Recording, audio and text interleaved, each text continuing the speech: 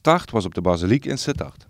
De bouwkundige staat van de toren is in slechte staat en zal gerestaureerd moeten worden om meer schade te voorkomen. De aartsbroederschap van Onze Lieve Vrouw van het Heilig Hart zal zelf 100.000 euro in de restauratie moeten bijdragen van de in totaal 250.000 euro kostende renovatie.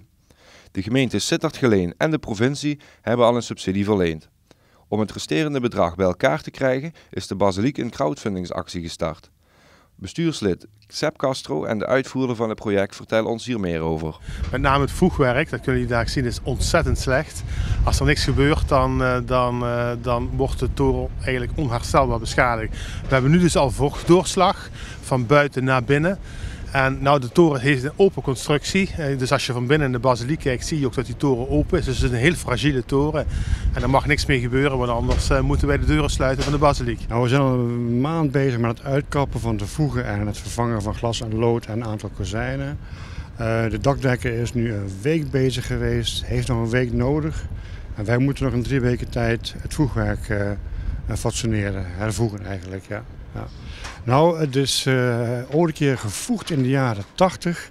En toen was de algemene uh, opvatting van dat een voegen hard moest zijn. En de laatste jaren, zeker bij ons bedrijf, uh, hebben we toch het idee van dat we een zachte kalkvoeg erin moeten stoppen.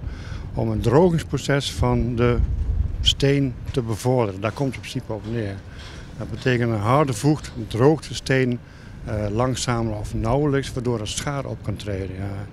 En dat zien we toch de laatste jaren heel erg veel in oude gebouwen. Ja. Voor de totale restauratie hebben we ongeveer 230.000, 240.000 euro nodig. 60% daarvan wordt door de gemeente betaald en door, uh, door de provincie. Maar uh, dat betekent dus wel dat wij zelf nog 40% bij elkaar moeten leggen. We zijn al een eindje op weg, maar we zitten eigenlijk nog op die laatste 50.000 euro uh, te wachten. Tot voor een paar jaar geleden betaalde overheid, dat was dan Rijksoverheid, provincie en gemeente samen 90% van de totale restauratiebudget. Hoefde die maar 10% zelf te doen. Maar inmiddels is dat al een beetje afgenomen. In totaal draagt de gemeente nou 10% bij. En de overige, dan nog 50% wordt bijgedragen door Rijks.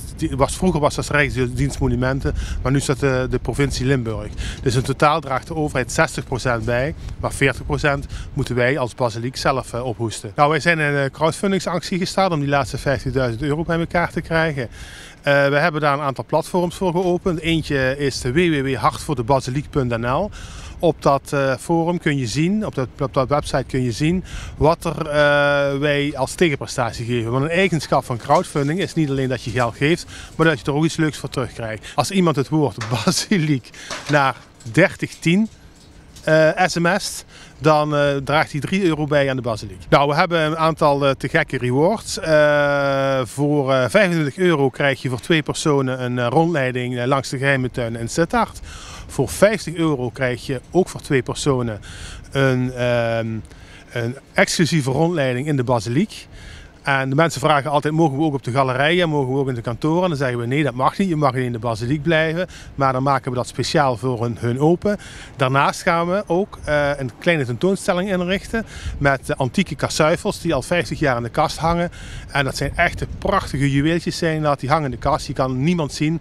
Maar voor deze gelegenheid halen we ze uit de, uh, letterlijk uit de kast. We hebben wel eens gezegd, de basiliek komt uit de kast. Dat gaan we dan doen. En we halen het kerkelijk vaatwerk, dat wil zeggen de kelk en de monstrans en al dat soort spullen, die gaan we ook tentoonstellen in de sacristie. En uh, de rondleiding zal dan gebeuren onder leiding van een aantal Sittardse historici zoals uh, Guus Jansen, Peer Bozeli en Antoine uh, Jacobs. Nou, op de eerste plaats, het is niet alleen een kerk, maar het is ook een stukje cultureel erfgoed. Het is een gebouw, ongeveer 130, 140 jaar oud, maar het is een schoolvoorbeeld van neogotiek. Neogotiek kwam op in de tweede helft van de 19e eeuw. En uh, daar wordt eigenlijk een verbinding gemaakt met de gotiek van de middeleeuwen, maar dan een stukje uitbundiger. Hele mooie voorbeelden van gotiek zijn ook het Rijksmuseum in Amsterdam en het Centraal Station in Amsterdam.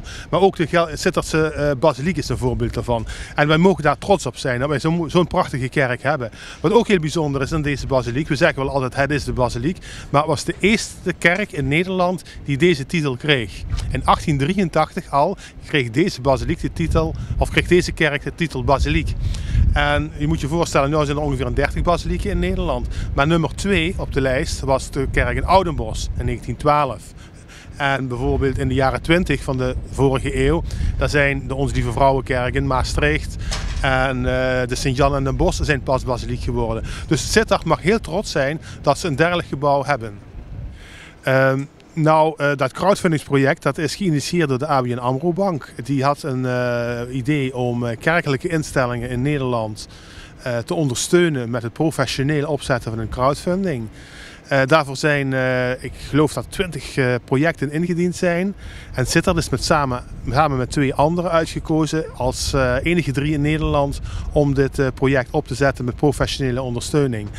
En ik vind dat wij als Sittard de plicht hebben om daar een competitie van te maken om ons eerder, eerst ons doel te bereiken. Dus ik roep heel Sittard op, echt heel Sittard van help mee. Ga naar www.hartvoordebasiliek.nl en kijk hoe je kunt bijdragen of sms het woord basiliek naar 3010 en draag 3 euro bij aan de basiliek. Geef als je hart hebt voor de basiliek.